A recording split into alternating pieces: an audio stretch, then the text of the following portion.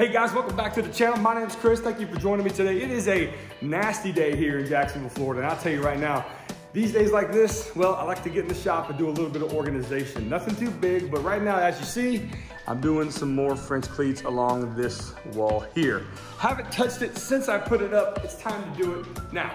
I found there are three types of French cleats in this community or in this makerspace and I'm sure there's more. And if you got a different one that you're gonna see in this video, leave it in the comments, I'd like to know. Also, I'm gonna break down those three types and tell you what would be better for your situation. Actually, I don't know that, only you know that. I'll tell you the pros and cons and I'll show you how they work. Let's get right into this. Thanks for joining me.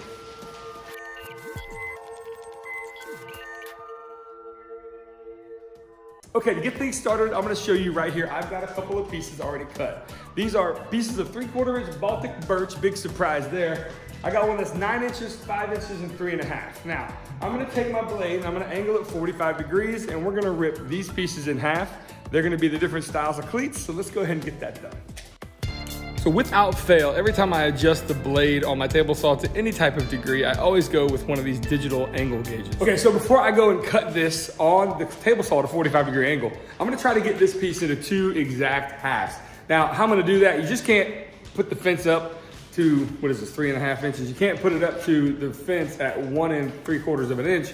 And that would give you half and half. It's not gonna work because you're gonna cut it at a 45. That being said, the calculation is the thickness of the material, half of that you need to take away from the fence setting of half of the material itself. So if I set the fence at one and three quarters of an inch to get half of three and a half, hope this is making sense. I also need to subtract half of the width of the piece as well, which is 3 eighths of an inch. So with all that being said, set it up, make a cut, let's see how we do. Okay, so what I'm gonna do, uh, I'm gonna take half of the, the width of the material, which is one and three quarters. That's exactly half, but I'm going to minus half of the thickness, which is 3 eighths. Now, that's exactly 3 eighths, but most plywood is just a little bit thinner than advertised. So we're gonna knock off just like a 32nd of an inch as well. And now we should be good to go. Let's make our cut. Good Lord, if you are still here with me, thank you so much as I go to make sure the camera is on. That was a lot of math, but in turn, you can always just test fit a bunch of these and then come to your desired result. I just found out that this calculation gives me exactly two halves where if I do this right, there really is no guesswork. So you're gonna find this piece is very sharp after cutting it to a 45 and you wanna get rid of that sharp angle. Two reasons. One, you don't wanna cut yourself on it. And two, you don't want to have it break because this is very brittle. I'm just gonna barely pass this through my table saw. It's just gonna take off maybe an eighth of an inch. Still gonna give me the strength of the cleat, but you've got no brittle edge. Okay, so behind me I have a mock-up French cleat wall. I've got three styles of cleats and I also have some spacer blocks. We're gonna go ahead and tack all this in place, how I normally do it up on the wall, and then we're gonna screw them all in place as well. Here we go, this should be pretty fun. All right, so what I'm doing here is I'm building a makeshift cleat wall to kind of give you an illustration of the three types of cleats we're gonna discuss here later in this video. On your right are the very tightly spaced cleats. On your left are the very large cleats, but they're moderately spaced. And in the middle are your medium size and they're moderately spaced as well. I'll explain more of that in more detail just in a minute. But to attach the cleats to the wall, I always use just brads and screws, no glue. On the small cleat here, I'm just using two screws parallel to each other. On the medium size, I like to alternate the screws up and down within the piece. As you see, they're staggered. And then on the larger cleat, what I like to do is install two screws about three inches apart directly one on top of the other. That gives you a little more strength and more on this in just a moment, like I said. But let me show you exactly how a French cleat is made. It's pretty simple and it consists of just three parts. One is a 45 degree angle piece. Two is the actual board that your thing is gonna go up on. And then three is gonna be a little support block. But you may not always need that support block. I'll explain that in a second as well. So to establish these, I'm just gonna use some CA glue to lock everything in place. This is Starbond, definitely go check them out. I have a coupon code to save you 15% as well. All links are in the description, so give them some love and check it out. Okay, I figured it would be worth noting exactly what a French cleat is. It's basically two adjoining faces on a 45 degree angle that are used to hold things up, okay? There is, and its truest form, what's going on in the cleat world, okay? Now, this is just for illustration, but you know, you could, you can make anything. You can make something like this to hold a stapler. And you can make really large items as well. And I've got an example of that in a video where I put up all kinds of stuff. I'm gonna link that down below too. It's my 30 foot cleat wall, check that out. But even little things, and these are kind of the, these are the most fun projects to me. So we've got an air conditioner in here now and I've got a remote for it. And, let's use this one. Nope, let's use this one. it is so cool to put these things up. Now, if I didn't have this backer board on here, I could put it on either one of those. And I'll explain more about this in the next clip. But, and even something like this, where you can place your phone.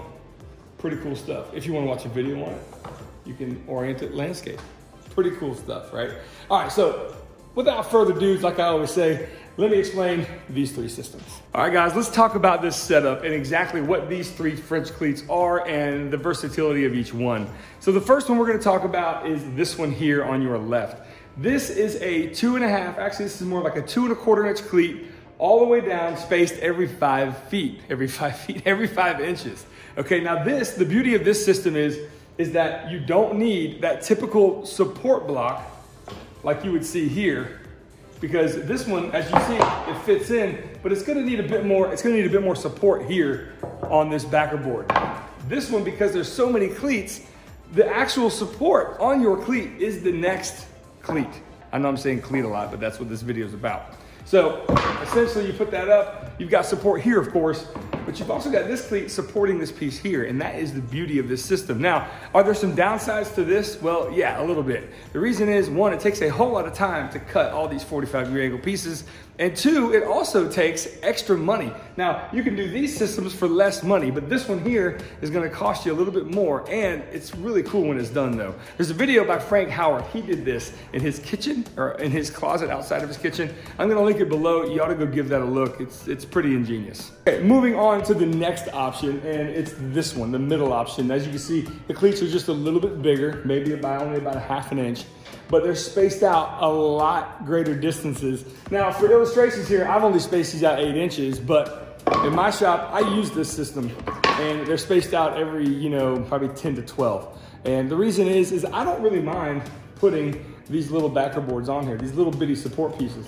You know, the beauty of this system is that it, it, really doesn't take much to get organized and everything is in its place and you can move it around. That's the beauty of it. Now, I like this system because one, I'm not having to cut a ton of cleats, uh, 45 degree angle pieces. Now, even doing this shop, this 30 by 20 foot shop, it took me a while, even using this method and spacing them every 12 inches. I couldn't imagine how long it would have taken to do this one, although I kind of think this is the Mac Daddy of the French cleat.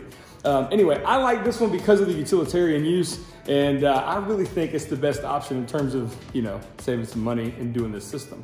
All right, let's move on to that one as well. This is this was pretty interesting, and I'm gonna explain why you might use this one if you don't have plywood walls. Okay, so this system right here, I definitely recommend this if you don't have plywood walls. If you have drywall and studs in your garage or shop. Reason being is that these you're gonna space every 16 inches and you're gonna want the support of two screws roughly three to four inches apart, giving you a lot of rigidity because you can't put screws every five or six inches in your walls or every eight inches or so.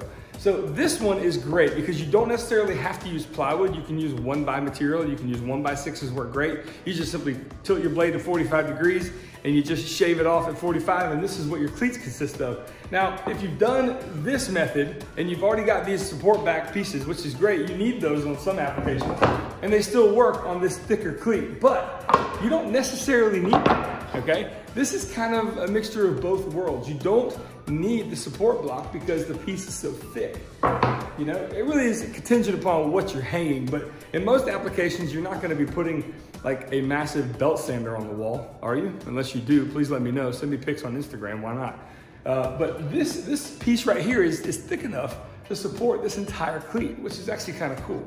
So these, in my opinion, are the three methods. And I think for anyone who wants to get organized, either one of these is great. You know, honestly, just get out there and do it. This has been an absolute wonderful experience to be here on YouTube and showing you guys some of this really simple organization stuff. And I really do appreciate each and every one of you who have reached out thus far and shown me some of the inspiration you've gotten from my shop and my French cleat organization walls, which really, honestly, it's just throwing things up on the wall, then moving things around and tinkering, and that's kind of what it's all about. So all of you out there who have shown me your pictures and and show me what you've done in your shop. I, I, so much appreciate that. Keep doing it, keep them coming. And I really think that this is the way to go in terms of putting things, well, I, you know, I don't like to put things away because once they go away, they're out of sight and that's not really how I like to do things in my shop. So anyway, I'm gonna get into this project here and uh, I'm gonna get, I'm gonna finish this project up here and I'm gonna show you where exactly this is gonna live in my shop. Check this out. But first, there's something I have to try. I call this the French Cleat Chop Shot. Check this out, here we go. So this is nothing. I got more trick shots at the end. You have to stay tuned. Yeah, let's go! Not gonna tell you how many times I've tried that, but I think you can gauge by my reaction, right? All right, back to the cleats. That's the beauty, it can go anywhere. Okay, so here are just a few of the applications that I've used over the years. I'm gonna show you a really old one, but I use this all the time. And This is a, a ruler from Lowe's from way back when. It is not a very big cleat, but it, it is tapered. The piece of wood, these two pieces are tapered in holding this ratchet set. And I think that that was probably one of the first French cleat things I'd ever put up on a wall. And I still use it today. But my other favorite is this right here. And these of course are some T-handled Allen keys. And these are made by a company called Bond, was it Bondhaus, I believe. I can't really pronounce it, but they're up in Minnesota. American made. I saw these in Adam Savage's shop years ago. Uh, actually, before he put a video out maybe a month ago about some of his favorite tools. And as you can see, they've got the dust, the dust to prove that they've been here a while. And they come with this little apparatus here that holds them. And of course, I have a, another set by them as well, but this is a metric set kind of tucked up underneath. This is kind of the beauty in a nutshell of the French cleat system. And I love this thing.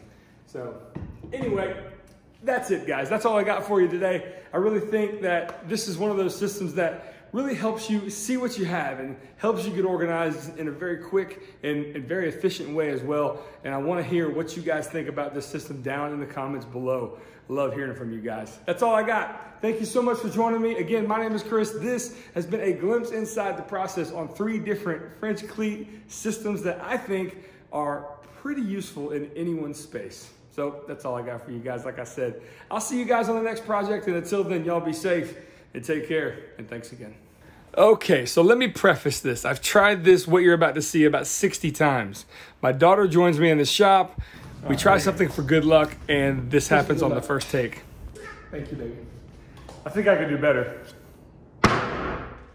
Oh my God! yeah!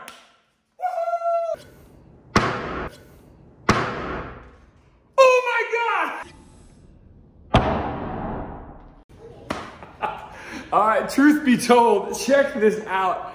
This is how beat up this cleat has gotten from doing this, I don't know, maybe how many times? You don't know. Maybe a hundred times. And then of course, I do this thing with my daughter, kiss for good luck, and it happened. So thank you so much everyone for being here to the end of the video. What can I say? Pretty cool moment. Y'all take care.